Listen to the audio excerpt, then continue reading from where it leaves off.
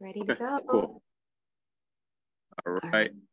And we are live. Welcome, everybody, and thank you for joining us for our first session, our first shadowing session of 2022-2023 uh, for Club Med Virtual.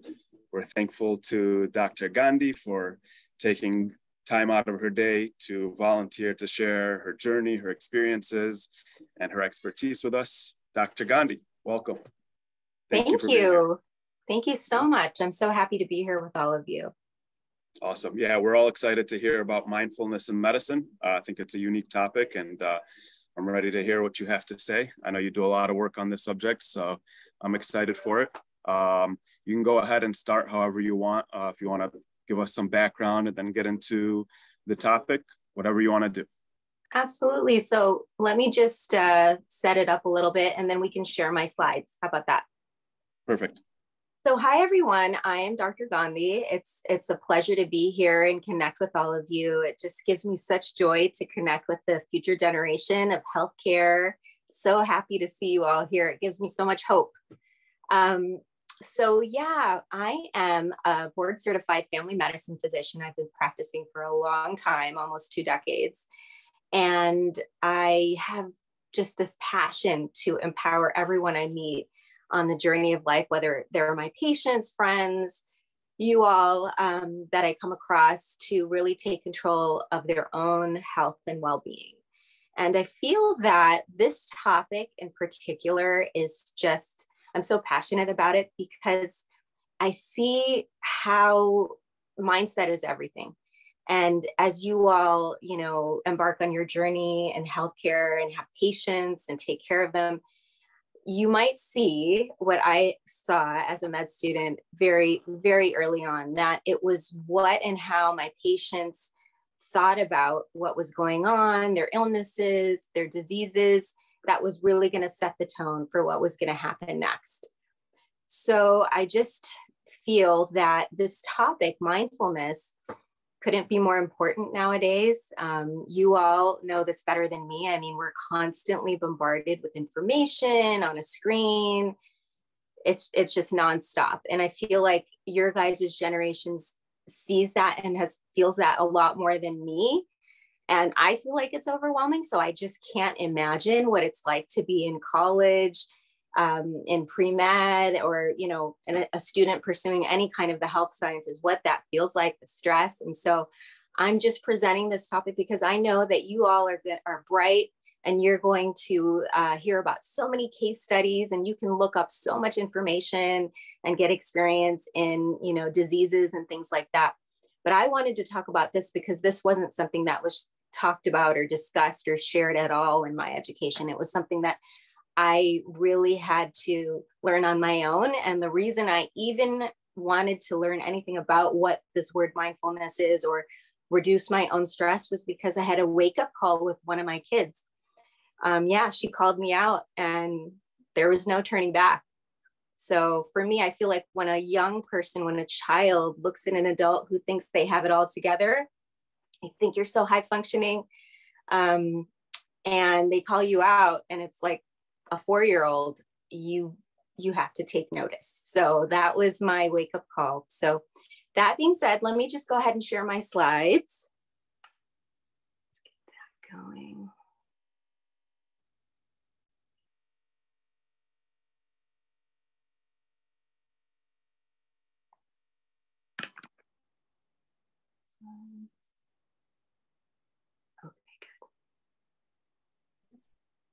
While Dr. Gandhi is setting that up, you guys can, um, in the audience, can feel free to, uh, you know, brainstorm some questions when she's talking and, uh, you know, you can put them in the chat or we could uh, save them for the end. We'll have a Q&A session. So whatever you guys feel most comfortable with.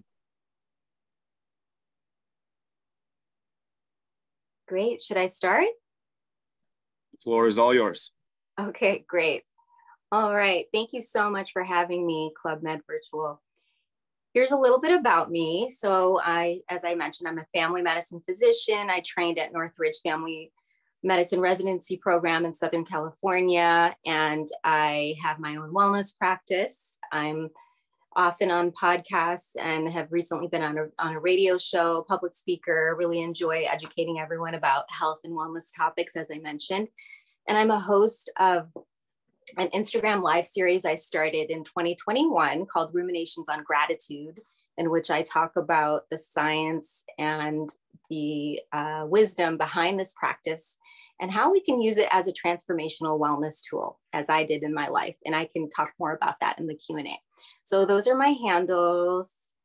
Okay, so let's talk about it. Mindfulness and medicine. What is mindfulness? I hope to explore these two topics. What is mindfulness? What does mindfulness have to do with medicine?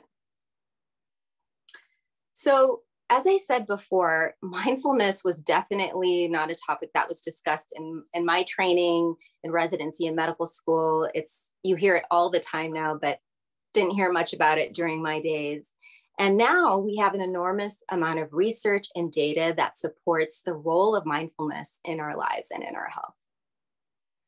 So, as we think about what this term actually means, I think by the end of this talk, you all will understand why Jasmine, our older dog, is the most mindful member of our family. So, simply stated, mindfulness simply means entering and staying in the present moment, in the now, as visionary and spiritual teacher Eckhart Tolle describes. So, if we think about that, why should we practice mindfulness? Why should we stay in the present moment?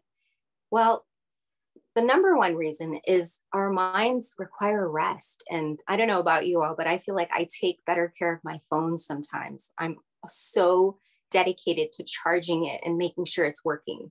But do we do that with our minds?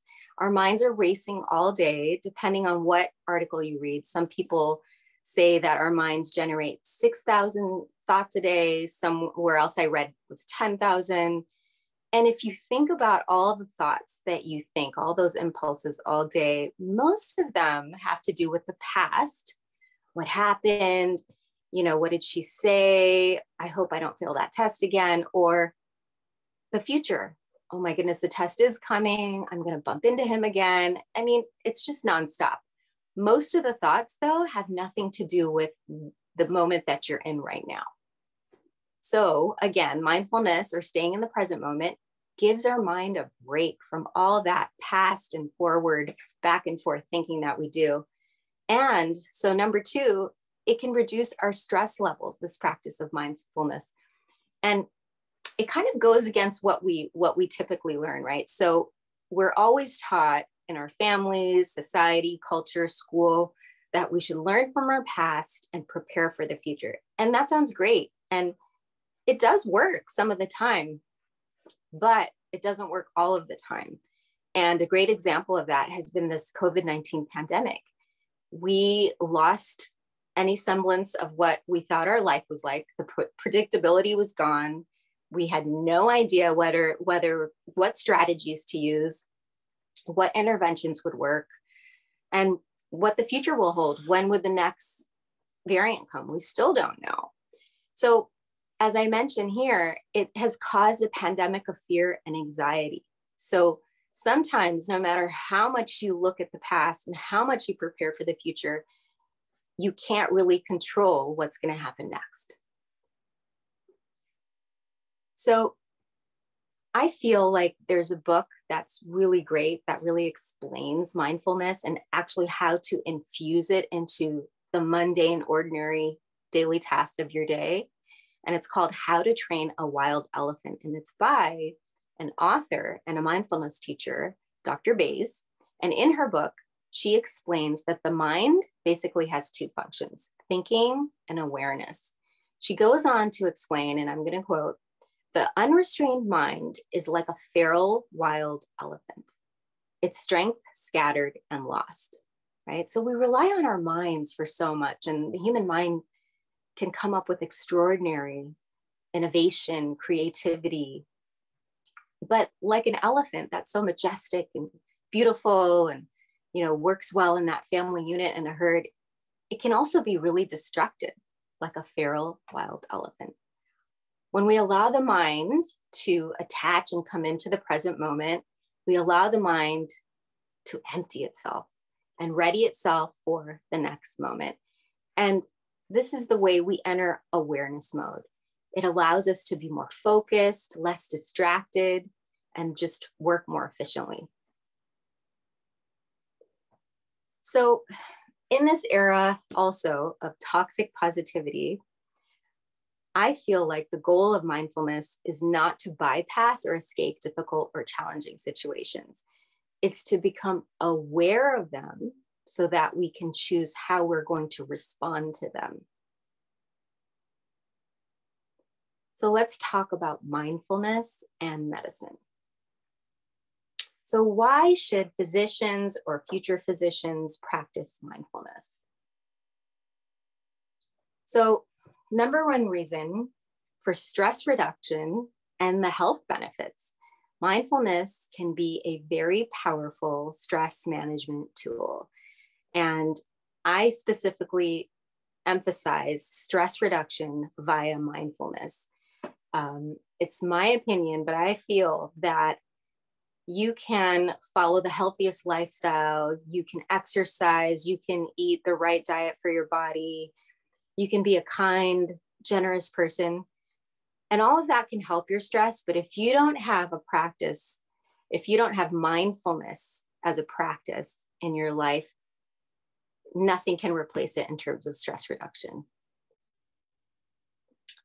So, the second reason why I feel that we should uh, practice mindfulness as physicians or future physicians is because of physician burnout. And I'm sure you all have heard about this. This was already on the rise pre pandemic, and now it's only increased and it's really global. The levels are astronomical. And the reasons for this pre and pandemic related burnout are lengthy and complicated. Time for another talk, another day. But while these issues obviously need to be addressed, we can use mindfulness to decrease our own stress and mental anguish and suffering. So let's talk about the science proven health benefits of a mindfulness practice. It reduces anxiety, depression, negative mood, rumination of thought, endless rumination sometimes. Empathy increases. We feel a stronger sense of connection, and we know that connection is a core psychological need. People who practice mindfulness tend to make healthier lifestyle choices, whether it comes to what diet they're following, substance usage, exercising enough. It actually increases and enhances immune function in our bodies. And we can measure this by measuring cytokine expression, leukocyte quantities, antibody titers after being vaccinated. There's enhanced immunoprotection from viral and bacterial diseases. So, reason number three for why physicians should practice mindfulness is it can help us offer better care. And isn't that why we all are in this field or pursuing this field. We want to offer excellent care for others. So let's talk about the complaints we hear about physicians, right? And this may have happened to some of you when you've gone to see one. You felt rushed, the physicians felt rushed and seemed rushed as they were talking to you. They didn't even listen to me. They did all the talking. They kept interrupting me. They handed me a prescription and were out the door. So let's just think about it. When we're fully present, when we are in the present moment with all of our senses, we are better listeners and observers. And you all may have heard about this, but if you give the patient a chance to share their concerns for just a few minutes without interrupting them, you can get about 80% of the history portion of the history and physical. That deep listening actually validates their concerns, builds trust, builds connection, and better bonding. Staying present like that can increase our efficiency and our sense of calm as we navigate our whole day, when it, whether it's labs, interruptions, messages, phone calls, and the way that we communicate with our staff.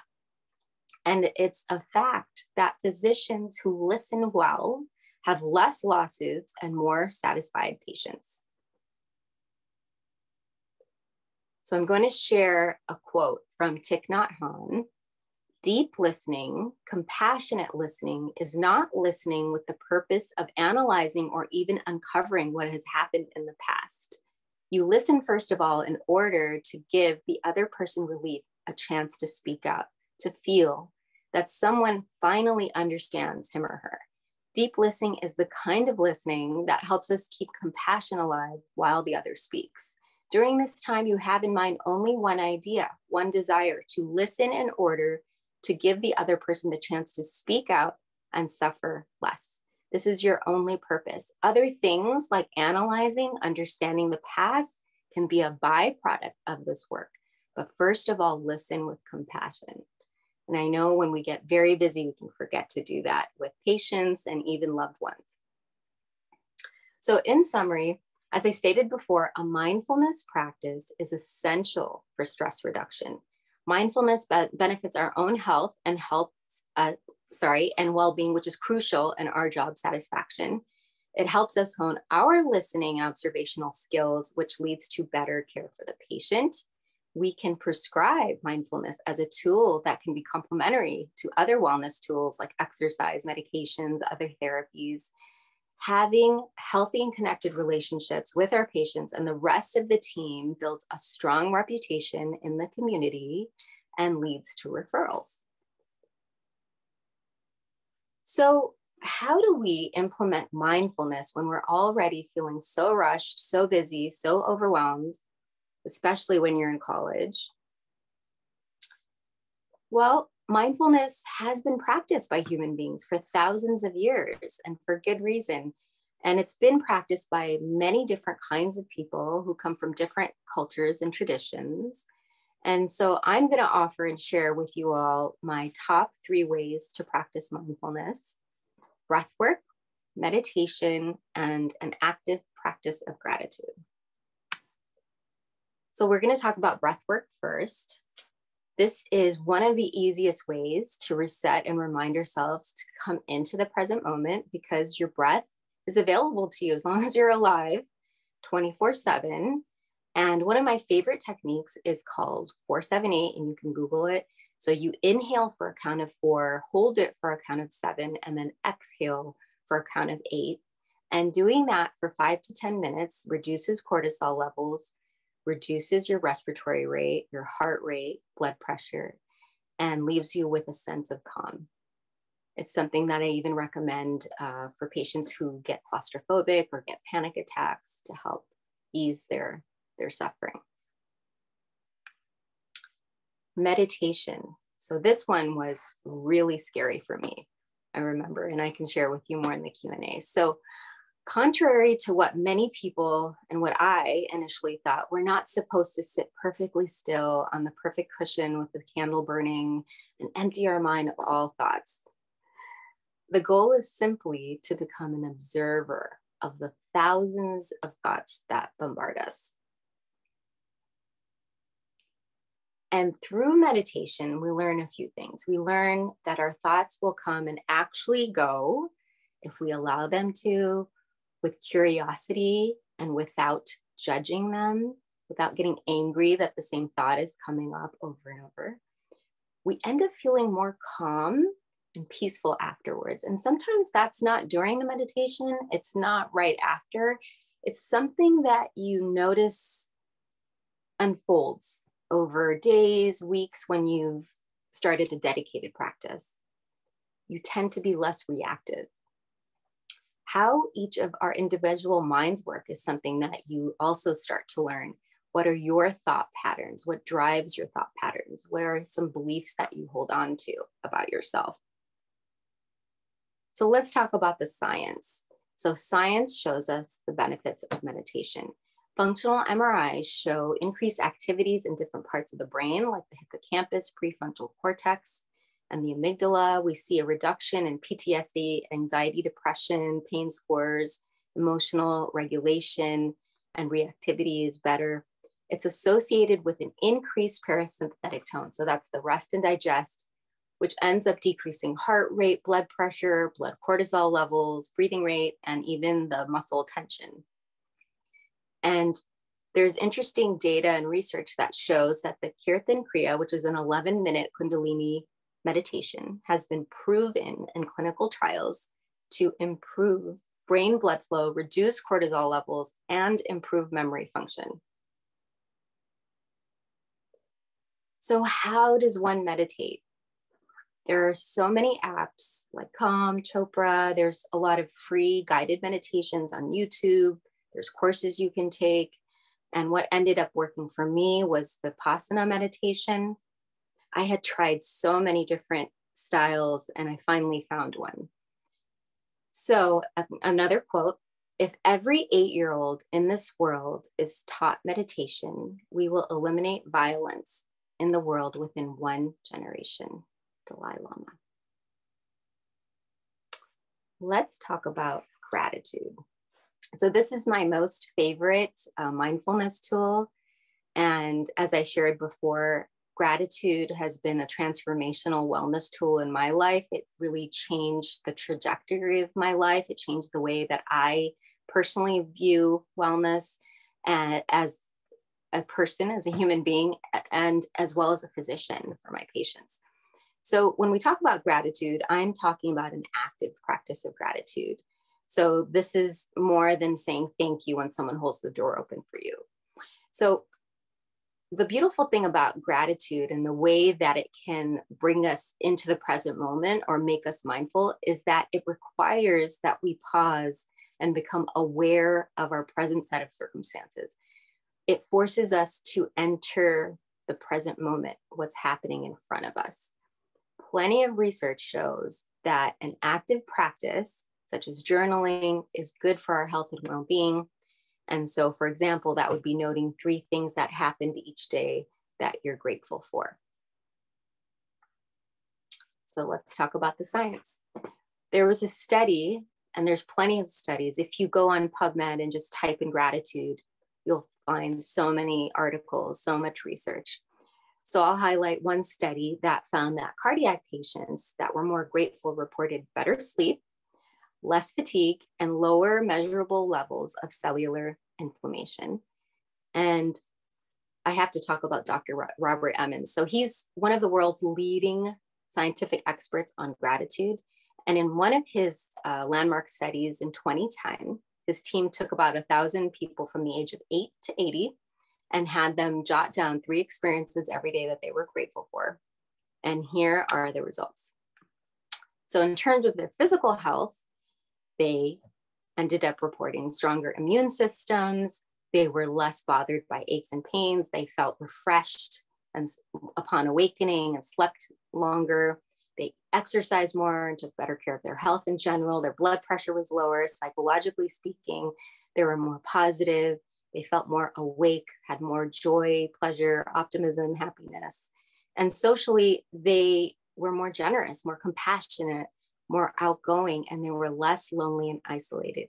And that's a really important aspect right there because America had a loneliness crisis before the pandemic and it's only gotten worse since. And this is despite all the technology we have to keep us connected.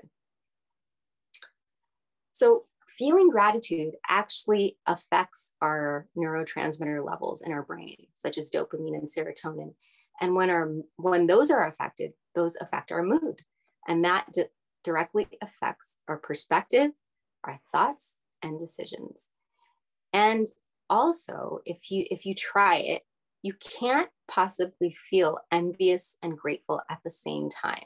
This is an example of reciprocal inhibition. So gratitude also offers resilience to trauma. And that's that's really important for us to become more trauma informed as a society and certainly in healthcare because we're realizing now how much that impacts a person's well-being their diseases their propensity to develop certain illnesses. So it helps to reframe past trauma to bring some meaning from it. And it also helps inoculate people from future traumatic events. And the way that it does that is it kind of shifts the way the preference of your brain circuitry. So we have the brain's defense circuitry, which is kind of responsible for backing up and freezing when danger is upon you. And then you have the pro social circuitry or networks that have to do more with well being and happiness. And so practicing gratitude actually helps kind of shift you towards the more pro social circuitry. And therefore, it affects your perspective. New research actually shows that sharing potentiates the health benefits. So there was a study in which they took um, Holocaust survivors and they had those survivors of the, this horrific Holocaust um, and everything they had been through actually share what they were grateful for in strangers. And so they were videotaped and they were sharing the kindness of strangers during this horrific time in their life. And so they actually had complete strangers watch those videos and their levels of gratitude increased just from watching a stranger share their levels of gratitude. So, what I mean is sharing what you're grateful for off potentiates the gratitude feeling in each person. And therefore, both people get the health benefits, which is really interesting. So, in my opinion, gratitude is a superpower. It's a tool we all have available 24 7. And within seconds, it can really quiet that inner critic. And that can be faster than IV medications. And so, as I shared before, I hope I'll see some of you there, but I do host a weekly series called Ruminations on Gratitude. And we talk all about the science behind it and how we can thread it into our daily lives. And I'll share a quote Gratitude unlocks the fullness of life. It turns what we have into enough and more. It turns denial into acceptance, chaos into order, confusion to clarity. It can turn an existence into a real life and disconnected situations into important and beneficial lessons. Gratitude makes sense of our past, brings peace for today, and creates a vision for tomorrow. Melody Beattie. And so, some advice from me for future physicians regard your, your patients as teachers, listen deeply, and never stop learning. Thank you for joining. This is my new puppy, Luna, who's three months old. Thank you. Awesome. Thank you so much, Dr. Gandhi. Um, we can open up for questions. Uh, if anybody else, if anybody has any questions, uh, you can feel free to unmute yourself and speak up, or you can send them in the chat and I can read them for you. You can um, also send them personally to me uh, if you want to remain anonymous, and I can read them out for you. And I could start off with a question. Um, you mentioned in the beginning of your talk that your one of your children uh, called you out and kind of started you on this journey of mindfulness. So I don't know if that story is too personal, but if no, it's not, it's not. I'm curious.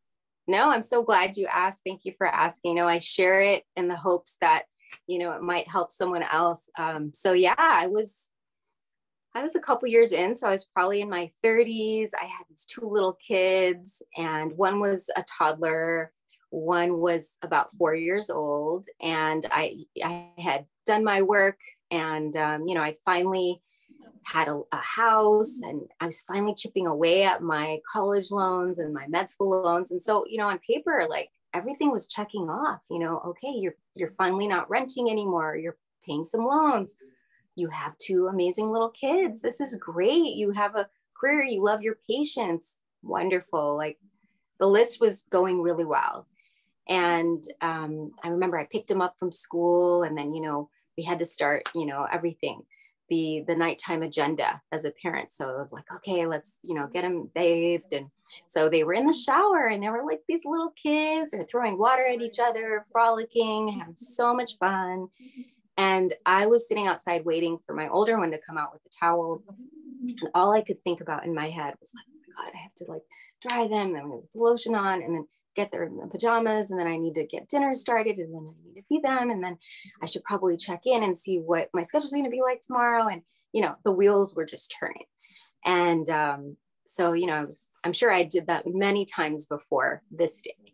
So I, I'm, my daughter comes out, my older one, she's four, I'm drying her and she was just like, mommy, mommy. And, and I finally like snapped awake and she was like, mommy, I want you to be happy. Why are you so sad? And I just thought, oh my gosh, why is she feeling? How could she tell? I thought, you know, I, I, everything was so put together. I was doing great at everything. Well, obviously, I wasn't. I thought I was so high functioning, but my daughter saw right through all of it. And she was really upset. Can you guys hear me? Yeah. Oh, okay.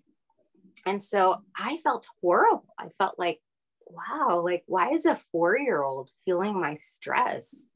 This has nothing to do with her. And so it just kind of got me thinking. And I'd love to tell you guys, like, that was the day I just, the switch flipped and I started practicing, practicing mindfulness. No, it just got me thinking. And I started like looking at my life and, and thinking, like, okay, I thought I had it all together, but obviously I don't. And it just got me thinking, wow, you know what? I need to really manage my stress better. I mean, here I am preaching to my patients, and I don't have it together myself. And so it just opened my eyes to a lot of different practices of wellness, not just practicing this traditional sort of wellness model. And I think I saw a clip of Oprah, and she said, you know, um, writing a gratitude journal, keeping a gratitude journal changed her life. So I thought, well, I should do that. I mean, here I am, you know, the the prescription of life. I'm checking off the boxes. I'm in, and there's so many people that suffer, and here I am, you know, doing relatively really well, and I'm not even feeling grateful. I'm just feeling stressed. So it just got the wheels turning and I started writing a gratitude journal. And, and before that, I would have thought that was so woo woo what is that about? Come on. Um, who does that? But I knew that I needed to change my parenting and I needed it, it my stress levels were affecting my kids. And so I just started and it actually just changed my life, literally. Your daughter is a true empath. I'm not going to tell her because she'll get a big head. No, I'm kidding. Right. no, she's a sweetheart. Well, yeah, we, we always talk about, you know, finding things that we're grateful for, especially amidst like, you know, hard times or possibly even tragedies. So, uh, you know, if we're using that medicinally, let's say, um, you know, during times of, you know, mental anguish, then how much more are the benefits going to be reaped if we, you know, do that on a regular basis? Because, you know, if we're only remembering to do that when times are hard, then uh, it's almost like you know being too late to the the the war against you know your your negative thoughts or the negative situation in your life so um I, am definitely going to pick one up yeah no, I, am definitely going to start journaling. You're absolutely right. And you know i'll tell you I never want to seem like, you know, there's like I mentioned before, there's so much of this toxic positivity out there. Like, you know, just shake it off, you know, look at the people suffering in xyz i mean why are you complaining? You have it so good. You have food on your table. You're able to and that's so true. I mean we are all you know if we're all here right together right now. We do have some amount of privilege and access and we should be so grateful for that absolutely. But i don't want to bypass the validating feeling unhappy feeling depressed feeling anxious feeling like something sucks in your life. Like let's just say it you know? I mean bad things happen to everyone and we're not here to compare people's pain and and decide who gets to you know complain more or not. I'm not saying that at all. What i feel like having a gratitude journal really does it's, it's just like it's it's a way to to just take a break from all that thinking think about what works for you. What did you like and what worked for you that day? And as you start jotting down that journal you're kind of look at the other pages and you're like you kind of notice like huh it really works when i do xyz i feel good or i like spending time with so and so they feel good. They seem like a good person just simple things like that and you just start learning about yourself and that's what it is right and you just give your brain a break literally for five minutes hopefully you sleep better i feel like you know I wish I knew some of this when I was in school, like you guys, because maybe I would have done better on my tests because I was always so stressed, right? I mean, the amount of stress and anxiety when you're a student, I I remember those days. So. Yeah, and and based on what you're saying, it seems like um, you know keeping that journal and writing these things down and seeing them on paper, it's like it'll help you remember the things that you're great, grateful for to help you remember to try to implement those more often or or to gravitate towards those things or those people or whatever it might be. Um, and you know again just increasing that you know cascade effect. That's exactly it right? And when you feel your feelings and you know let's say there's something that you're not grateful for right? It's awful. Just taking a minute to say okay wait a minute. You know it could have been worse. I could have gotten a worse score. Okay well that just gives you a pause and then you back up and say okay it is what it is now. This is the score i got what can I do about it now? Right. Like you feel your feelings, you're upset for a few days, you're mad, you're thinking about what you could have done, what you should have done. Now we get into problem solving mode. Mm-hmm. Okay, this happened, it's done. What can I do now? Do I need a tutor? Do I need to study with so and so? Should I not have gone out? Like, whatever, that's just an example. But, right. And then you get into creativity and problem solving mode. Right, right. Uh, we have a question from the chat from Genevieve. Uh, she says, as a patient slash physician, how do you handle a situation where an individual may make you feel rushed or not heard in your concerns? Great question. Yeah, that's a great question. So I just to clarify, so as a patient or the physician, like both perspectives? Seems like that. Okay, absolutely. So unless, you know, yeah, she said yes. yes. Okay, no, that's such a good question, Genevieve. So I feel like as a patient, you've got to advocate for yourself, right? And so you've got to say, excuse me, I need further discussion on this topic. Um, do we need to set up another appointment or can, can this be addressed right now? You know, I would, I would advocate. Um, it, and I know it's not always easy, but I, I would certainly advocate. I feel like sometimes having a list is really great when patients come in with a list and I'll look at the list and sometimes I I know I can't get to everything on that list, but we'll break them down and I'll tell them, you know, I feel like this is more of a priority. Can we let's split this up into two appointments? So as as the physician, and I think also I've really realized the less I interrupt, more flow, more comes out, you know, and it's so hard, right? Because I mean, physicians and other people in the healthcare team always complain like, there's not enough time. I want to do more. There's not enough time. They're rushing us so much. They're giving us so many patients. If somehow it's not easy if somehow you can let them talk without interrupting like i said even just a couple minutes you'll actually get so many answers to your questions and then you can really hone in on what else you need to know.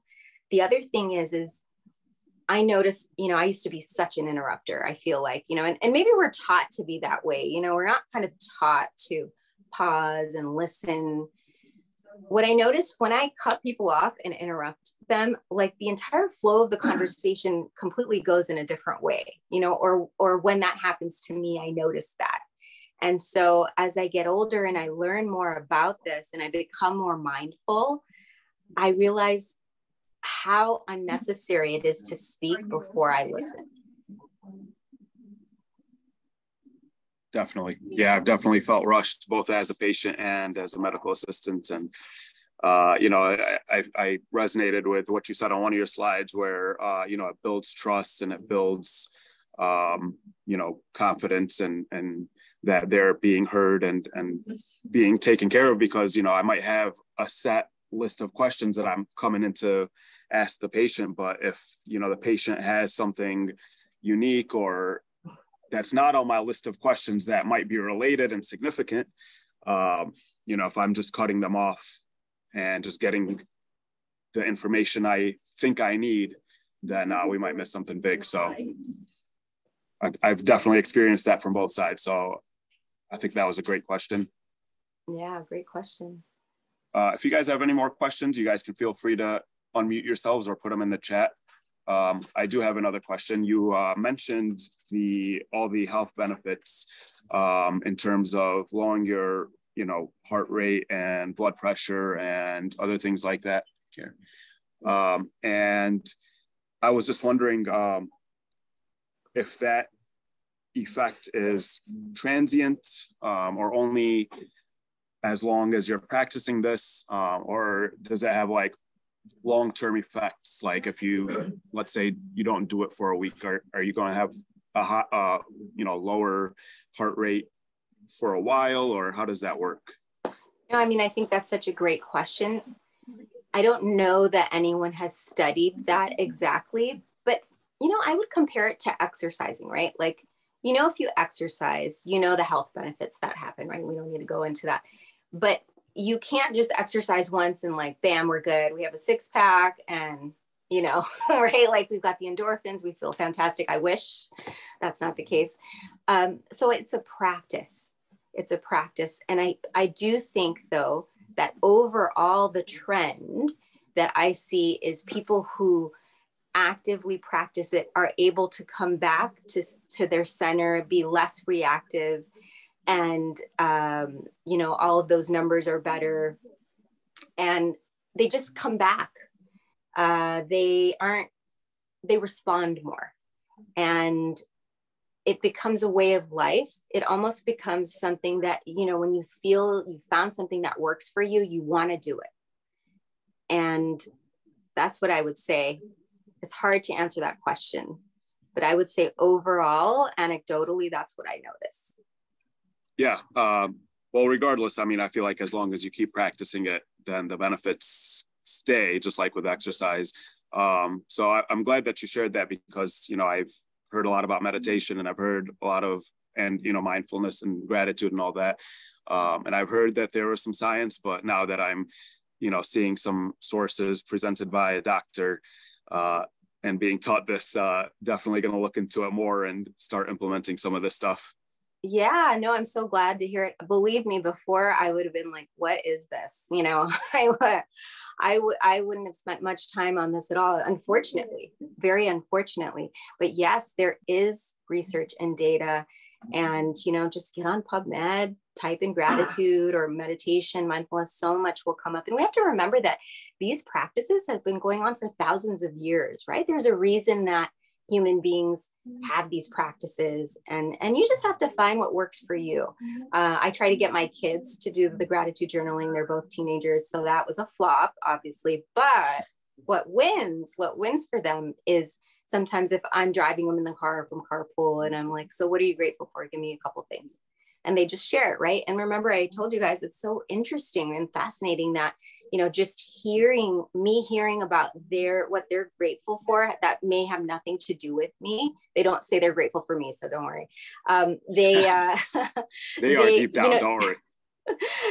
Oh, it's all good. No but what i mean to say jokingly is that it i just feel good.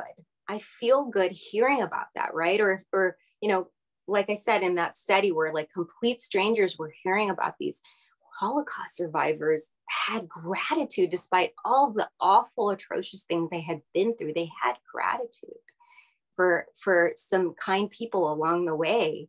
And the, the stranger was listening and, you know, score, their gratitude scores went up. It's amazing, right? Do you, do you know if those videos are like published online or anywhere? You know, I, I read accessed? it in an article, so I don't know. I mean, you know one one could i guess they might be yeah i'm not sure. I mean the article was published so i wonder um, if they would allow them. But so interesting yeah. though right? Yeah. Uh, yeah maybe maybe i could find those through a google search or something. Oh yeah. Um there's no other questions in the chat. I was um thinking about the um the one slide where you said that we're going to realize why your dog is the most mindful member, I guess, uh, of, of your family. So I'm going to go ahead and guess that the dog is not really concerned much about the past or the future. And he or she is just aware of his present needs. And uh, am I kind of on the right track there or? You're absolutely right. Peter. Yes, yes. You know, so dogs and pets, but I'll I'll talk about dogs because that's what I have.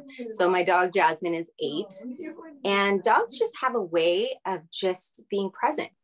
They're happy, they let things go. If they're unhappy, they feel that feeling, then they move on to the next moment. They typically don't hold grudges. They're so present. They're so present and um my, one of my favorite things to do is when I walk my older dog, my puppy's a little crazy right now, but when I walk my older dog, Jasmine, she's so curious, you know, she, that's when I really noticed how present she is, is she's listening to every sound. She's smelling every flower. She's list, she's a, she's a watching everything, um, just fully in the present moment. And it reminds me like, don't look at your phone, just be, it's 10, 15 minutes you don't have 10, 15 minutes to just enjoy nature, enjoy her, enjoying nature, you know? And so yeah, that's that's kind of what I always think about when I'm I'm with her on the walk. But yes, so, you were right. So you so gaining inspiration not only from your four-year-old daughter, but from your dog and yes, all all these uh teachers that have wisdom for us yes. that we would not expect. Yes, Yes, absolutely. And you know, we all have our own inner wisdom too. And you can really tap into that when you start a mindfulness practice because what ends up happening is it's not like you're stopping all these thoughts right you're just you're just kind of acknowledging the ones that keep coming up the noisy ones and once you acknowledge and observe them what you make room and space for what really is important to emerge like something some true creativity from you. A knowing you know like just something as simple as um hey i should i should totally publish that. That is such a good idea you know like things like that or you know, now I finally figured out why A connects to B in my life. Gosh, why am I doing that still? Why am I continuing that pattern? Little, little things like that start to come through because you've created a space. That's how you tap into your inner creativity and wisdom or voice or whatever you want to call it. So, so if you're acknowledging all the thoughts that are coming to you and then your brain starts focusing on one thought, just let that let it be, let it, let it calm. Don't focus yeah, on. You, you know, it's, it's a, it's, it takes, it's like a muscle, like it takes practice. So what I tell people is, um, initially I thought when you set in medica- meditation, you just like punch away all these thoughts, you know, you're like fighting them, especially the ones that are really annoying and pesky. Not the case. So what you're going to do is you're going to become the observer and kind of be the one watching all the thoughts come. And so it's kind of like being at the airport and uh, being at baggage claim and just watching all the luggage waiting for your luggage. So you see your you see all the different suitcases but you don't pick one up you know? And sometimes you do you, you know get caught in the thought then you think about this and you go on a tangent and then you're like wait a minute i'm meditating let it go. Okay. Right. that thought came that thought came great. Or it's sometimes like being at the train station and these trains are whizzing by their thoughts. You just don't get on. You will sometimes. And i have to say even if you sit there and you just feel like all you've done has been assaulted and bombarded with all these thoughts and you went off on all sorts of tangents and you know now you're done and you have to move on and do other things during your day just that in and of itself has given your mind a break it's it's just uh, allow those thoughts to come and pass. They'll actually stop bothering you as much if you do that.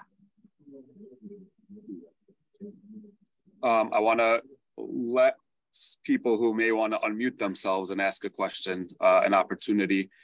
Um, and uh, there's a there's a lot of questions that could be asked because uh, you know meditation and mindfulness is something that we hear about a lot, but um, we might not necessarily know exactly how to implement um, or what the end goal is. So there's a lot of a lot of uh, questions that you may have regarding um, the implementation or some of the science or the studies or the health benefits behind it. So if anybody wants to unmute themselves, uh, go ahead. If not, the chat is always open.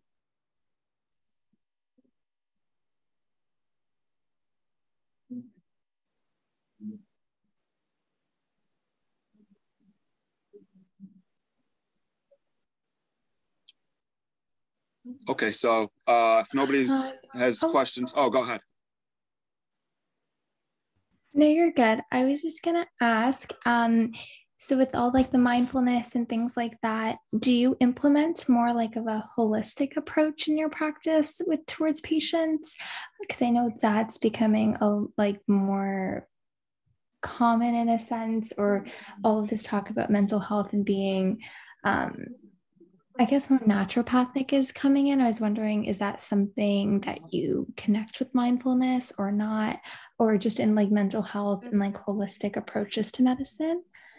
Sorry, there's an echo. I'm just sitting in a lecture hall alone. So, no, those are great questions. Thank you for asking. So, for me, yes, I like to integrate um, science proven practices of all kinds. So, that's why I feel like mindfulness is backed by science. And um, I like to integrate it into my practice and into my talks and education with patients. Um, I find, you know, the traditional model of, of medicine that we practice here has a lot of um, influence by insurance companies as well as some pharmaceutical companies, and we need both. So I'm not anti anything. But there can be some biases. And I feel that even people who have so much privilege and access don't always feel that their their health is really optimized in the current setting and that's people who have tons of privilege um, so forget about people who don't so i feel that it's so important to uh, for me as as a physician uh, to be very open to all the different types of tools there are in the toolbox. And for me personally, I like to see the science behind it. Um, I like to understand it very well before I implement and recommend anything. And I like to offer it to the right patients. You know, there are some patients who meditation, no, that's not happening. They're not interested in it. But maybe the breathing exercises could be something they could do that would give them some ease and might end up helping with their blood pressure, you know? So it's just explaining, offering a variety of tools um, and integrating these practices that you feel very confident and comfortable with. No, that's yeah. a good point that you bring up of the like how there is so much bias and influence from outside um, that affects a lot of the ways that um, patients are treated. I'm sure, um, like, as I guess it becomes more of a trend in the medical society, people will also do more research on it. So I'm sure um, it'll like come along. But um, I appreciate you taking the time. Thank you. Of course, my pleasure. Thank you for asking. So we only have a few more minutes left. Um, I'm going to send out this get involved survey. Um, if you want to fill that out, um, whoever was here, uh, and you can get participation uh, and a certificate for your shadowing hours at the end of the semester. Um, and uh, while you guys are filling that out, um, I have one more quick question for you, Absolutely. Dr. Gandhi. Um, so I'm thinking about starting on this journey, and I'm sure most people in here are too. What would you say is the biggest hindrance to beginning the journey? Is it maybe finding time, actually having to schedule this in at specific times? Or maybe what's the biggest hindrance if you've already gotten started? What's the thing that maybe kind of keeps you from continuing it? I'm sure you face times in you know your journey where you've been more or less motivated to do it. So uh, maybe just share some of the the hindrances and and how did you overcome those or how could we overcome those just to keep this as a practice that's such a great question i'm so glad you asked and yes absolutely there have been times where i was like i just need to sleep i can't even i can't even function right now and maybe i didn't get enough sleep. Um no so you know what? What i tell people is is try to focus and i know it's so hard when you're a student it's so hard. I remember those times. Um, I kind of break it down into like seven wellness tools that I think are really important that we we integrate into our life. And you can't do all seven seven of them every day because that's impossible. Um, but maybe you could do one a day. And so my top seven is the first one is thinking about passion. What lights you up? What do you, what are your hobbies? What have you been really interested in? Um, and it has nothing to do with anyone else. It has nothing to do with your career path. It has nothing to do with looking good on your resume. No, it's just what you like. It just lights you up. And whether that means like, you know, um, watching your favorite team play, or it's, you know, a hobby, maybe it's reading, maybe it's, you know, watercolor painting, whatever it is. So making sure you schedule that in the calendar. It, maybe it can't be weekly, maybe it's once a month but even as a busy student, as a busy whatever, this busyness does not stop, guys. I have to tell you. like, I'm just letting you know, like, it's a certain kind of busy when you're a student and you think, okay, it'll get better. And it does in certain ways when you're out there working and whatever you do. But but it just keeps changing. The form of it keeps changing. Right. So you so there's some things that are just non-negotiable. So one of them is making sure you're scheduling some type of passion that you have into your calendar. Like, all right, you know, look at the calendar. On this day, you are mm-hmm. going to work ahead and work around, and you're going to go attend this event because it's just something you love. That's it. Mm-hmm. You're going to do it. So, that kind of thing, that's really important. They're in no particular order. The second one is sleep. We all know how well we take care of our phones and devices, right? So, I don't even need to say how much, especially as a student, you're staying up, you're you're sat having to sacrifice. So just doing the best you can and trying to sleep or get naps in, like try your best with that. Um, it's so important. And you know what's what we're hearing so much more about is mm-hmm. getting that morning light in. I don't know if you guys have been hearing a lot about that, right? Like how important it is 10, 15 minutes without your sunglasses on to get morning light, even more on mm-hmm. cloudy days. So mm-hmm. it really helps your sleep wake cycle because it actually directly affects your pineal gland, which is where melatonin is made. Oh boy, I don't want to go too far into this. We probably have to get going soon.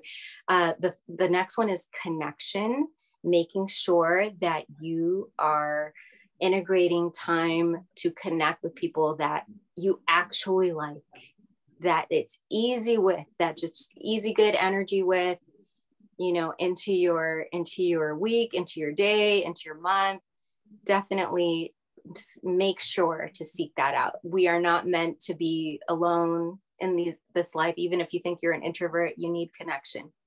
And we learned that from the pandemic. Everyone needs connection. The next one is nutrition, right? So, again, I remember as a student that was not high on my priority list, but just hydrating, right? Like actually getting some vegetables and fruit and actually, you know, trying to do the right thing and not over caffeinate yourself and all the other things.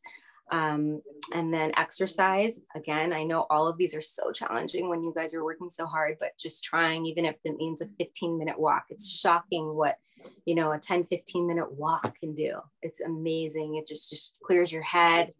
Everything, everything seems to be better after a walk, right? Or a good night's rest, things like that. Um, and let's see, I think I mentioned all of them. And then stress relief via mindfulness. That was the last one.